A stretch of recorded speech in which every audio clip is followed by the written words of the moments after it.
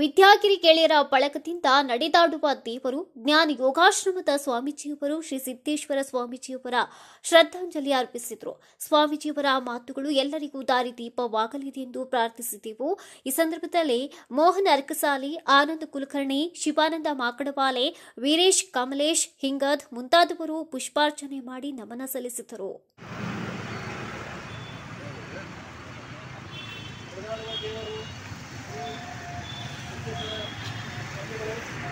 ಎಪ್ಪತ್ತೆರಡನೇ ವರ್ಷದಲ್ಲಿ ವಿಜೇತರಾಗಿದ್ದಾರೆ.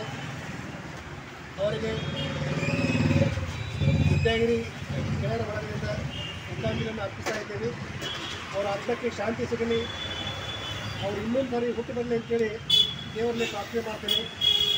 ಅವರಂಥ ಸ್ವಾಮೀಜಿ ಇನ್ನೂ ಹುಟ್ಟಲ್ಲ ಹಿಂದೆ ಹಿಂದೆ ಹುಟ್ಟಿಲ್ಲ, ಮುಂದೆ ಹುಟ್ಟಲ್ಲ ಅಂತ ಸ್ವಾಮೀಜಿ ಅವರು ಅವರ ಅವರ ಕೆಲವೊಂದು ಮಾತುಗಳನ್ನ ಕೇಳಿ, ಪ್ರವಚನಗಳನ್ನ ಕೇಳಿ ನಮ್ಮ ಆತ್ಮಕ್ಕೆ ಆದಂಥ ಎಲ್ಲ ಮುಂದೆ ದಾರಿದೀಪವಾಗಬೇಕು ಅಂತ ಹೇಳಿ ದೇವರಲ್ಲೇ ಪ್ರಾರ್ಥಿಸ್ ಪ್ರಾರ್ಥನೆ ಮಾಡ್ತೀನಿ